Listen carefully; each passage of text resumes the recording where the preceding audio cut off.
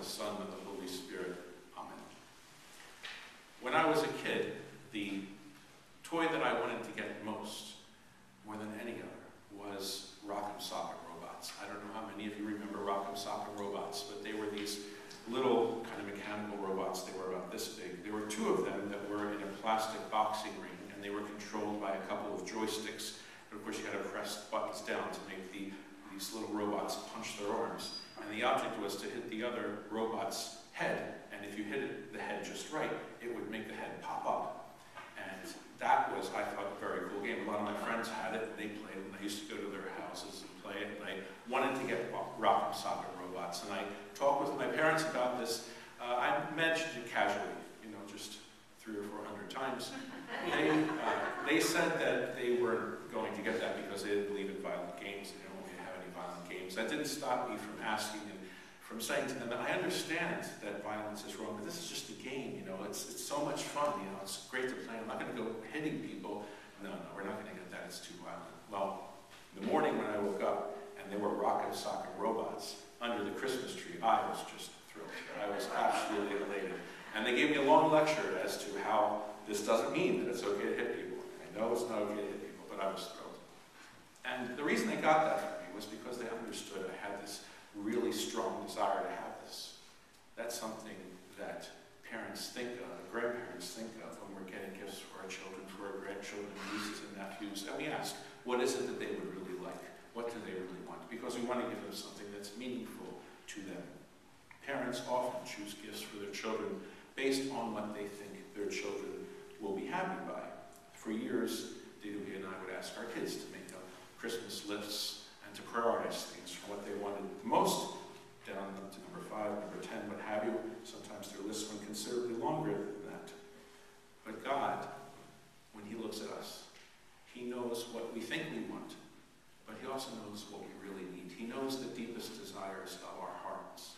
And when we come up and kiss the gospel at the end of Badarak, the Armenian tradition is that the priest says, Datsik is deraserdikul, or may the Lord grant you the desires of your heart. And when we're saying that, we're not saying, may the Lord grant you whatever thing you want, but may the Lord grant you the deepest desires of your heart, what you truly want, the depths of your heart. Perhaps even at depths that we ourselves sometimes have a hard time recognizing. God sees them, and our prayer is that God meets those needs. Understanding our deepest desires, our Heavenly Father sent His Son for our salvation. Christmas is a time of the remembrance of the greatest gift ever given, the birth of our Savior. It is a remembrance of the one who came so that we might have abundant life.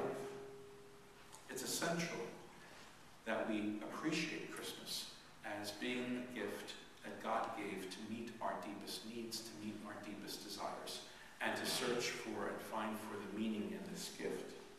It's essential also that at Christmas we focus on Christ, we focus on Jesus during this season that tends to become so materialistic, and we think about what it is that it means, particularly about the fact that it's about celebrating Jesus' birthday. Can you imagine going to someone's birthday party and everyone gives gifts to one another, but no one gives gifts to the person whose birthday it is? Sometimes we treat Christmas that way. We give gifts to one another, but what do we give to God? What do we give to Christ? How is it that we celebrate his birthday? And this raises the question, what is it that God most desires? What's at the depth of God's heart? What do we get for the one who has everything? In the Psalms, God says the world and everything in it are mine. So what do we get for God? Well, God wants us to freely decide to do certain things with our lives because one of the greatest gifts he gave us is the gift of free will. But what we choose to do with our free will is the gift we give back to God. And so we have to freely choose whether or not we're going to follow his teachings, particularly one of the things that we are to freely choose each day, and we can choose to do or not to do, but we are certainly to choose to do on a regular basis, is to read Scripture. And Jesus, Jesus taught us that the greatest commandment is to love the Lord your God with all your heart and with all your soul and with all your mind. And when we love someone with all our heart, soul, and mind, we want to be with them. We want to hear what they have to say. We want to understand their point of view. and we want to think about what they have to say. So part of loving God is having a deep desire to abide in His Word. And during this Advent period, when we are so busy with a thousand things to do, and it's an unusually busy time of the year, do we make time for God? In this last week, how much time have you set aside to read Scripture? How much time for prayer? We can, going forward, make a conscious decision to do this on a daily basis. I'm going to begin my day with five or ten minutes of prayer or reading Scripture to abide in His Word. And Jesus says that anyone who loves me will obey my teachings. So it's not only a matter of reading the Word of God, but it's a matter of meditating upon those words and asking ourselves, how does this apply to my life? Sometimes people say, oh yeah, I've read the Bible three or four times. Sometimes people say that that lead to debaucherous lives. The object isn't to read huge portions of the Bible just for the sake of reading and say that we've read it. The object is to read until such something touches our hearts and to stay with that prayerfully. Read through the Psalms, read through the Gospels. When something touches your heart, sit and ask, what is it that the Lord is trying to tell me? How is it that I can adjust my life to be closer to Him? Jesus says, The words I have spoken to you are spirit and life. So we look at ourselves trying to conform our lives to the gospel, not as something that is limiting us, but as something that is liberating to us. And if we want to be more free, and if we want to encourage other people to have truly free lives, then we ourselves have to learn to embody the message of the gospel within us and to share that message by word and by deed with others. So the first gift that God desires is for us to abide in his word. Secondly, we are to attend church. When Jesus began the tradition of Holy Communion, he commanded his apostles to do this in remembrance of me. He told them, get together and do this thing. And they did. And from the earliest times until today, the church, in an unbroken line from apostolic times, has always gathered together to receive the body and blood of Christ. We do that remembrance because Jesus said to do that. We follow his command. Jesus wants his faithful to gather together for worship on the Sabbath. And when we do this in his name, we understand that he is present with us and his love is manifest in our midst. Our Heavenly Father wants his children to come together once a week. The Sabbath is a day of rest, but it's not simply a day of rest of, I'm going to put up my feet and watch sports all day. It's a day of resting together in the Lord, of appreciating the beauty of our Heavenly and celebrating his love with one another. Unfortunately, some Christians have been seduced into believing in a kind of Lone Ranger Christianity. It's just me and Jesus. All I have to do is believe in Jesus and I'll be saved. Well, part of believing in Jesus is believing in his teachings, and Jesus wants us to come together. He wants us to follow his Sabbath. He wants us to live in a certain way that he taught us to live. The church Jesus founded never said, stay on your own and worship. The church Jesus founded said, come together and worship, because being a Christian is not a personal journey alone. It is a personal journey, but it's more than that. It's a corporate journey. We are pilgrims traveling together towards the kingdom of God. It's not just about our salvation, it's about one another's salvation. When someone claims to believe in Jesus, but not the church, ask them how they reconcile that belief with Jesus starting the tradition and directing that people gather together to receive Holy Communion. Those who study and choose to follow Jesus' teachings must gather together in the Holy Church.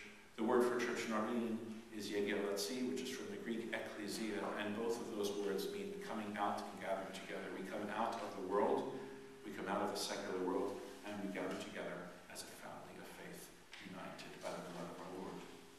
This Christmas, I want to encourage you to make a vow to keep the Sabbath as God intended. Give the Sabbath to Him. You on the Sabbath, and not just during Advent, but throughout the year. So read Scripture, apply it to your lives, keep the Sabbath in holiness. And thirdly, we should be thinking this time of year especially about helping the needy. We think a lot about what can I get for my brother, my sister, my mom, my dad, my kids, and we're often giving to people who have so much already. Or what can we get for ourselves? There was actually a commercial on uh, last week that said, the week before Thanksgiving is the week of Thanksgiving. It's the last time to shop for yourself before Thanksgiving. Um, and there was a there was a department store that was saying this is the week of Thanksgiving. A lot of people think of Christmas as the time of Thanksgiving as opposed to Thanksgiving. But if we're truly to give thanks to God, we should do so not only in word but in deed. And Jesus taught us that when we help the hungry and the thirsty, the naked, the sick, the suffering, the homeless, the widows, and the orphans, we are helping Him. We are serving Him. When we serve the cause of truth, we are serving Christ. In his teachings, Jesus made it clear that all of these ways of helping have both a physical component as well as a spiritual component. That is to say, we are to understand and to commit ourselves to helping the hungry and the thirsty and the naked and the homeless, absolutely. But we have to understand that these have a spiritual element as well. That is to say, there are people who have plenty of physical food, but are spiritually malnourished. They don't have the Word of God in their lives. And if we want to feed the hungry, we have to help make God's Word present in their lives. There are people who have plenty to drink, but they are spiritually dehydrated. And we have to make the Word of God present in their lives.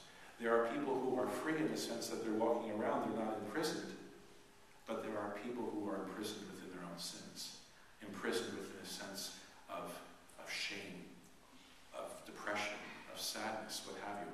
And we are those to help lead them to a place of joy, a place of spiritual freedom.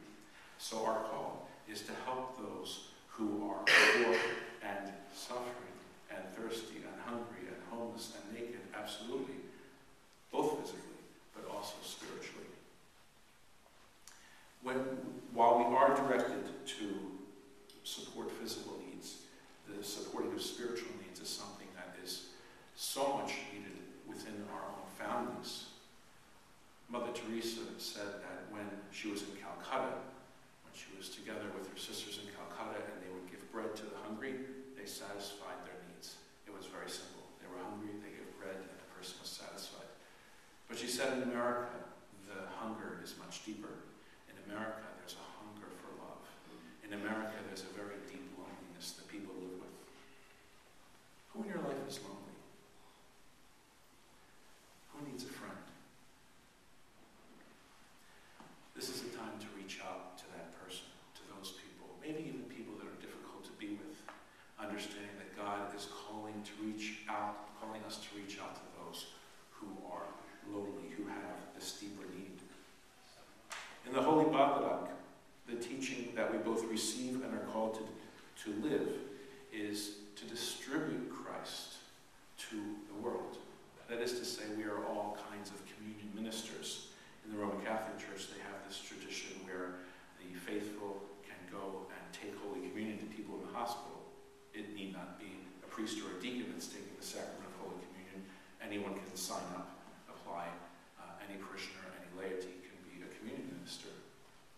In the Armenian Church, we have that tradition as well, but we have it on a spiritual level, that each of us are called to be ministers of the body and blood of Christ. And this is particularly clear in one of the prayers said by the priest during the Badarak, where we hear, Look down from heaven from your holiness and from the glorious throne of your kingdom, Jesus Christ our Lord. Come to sanctify and to save us, you who sit with the Father and are here sacrificed. Deign to give to us of your undefiled body and precious blood, and through us to all the people. When we attend church, when we live this life we are called to live, we receive spiritual gifts that we can distribute to those who are spiritually hungry and famished. These are not gifts we are to keep to ourselves or only to share amongst those who are already full. These are gifts we are to distribute to those who are so needy. Brothers and sisters in Christ, as you consider giving gifts this year,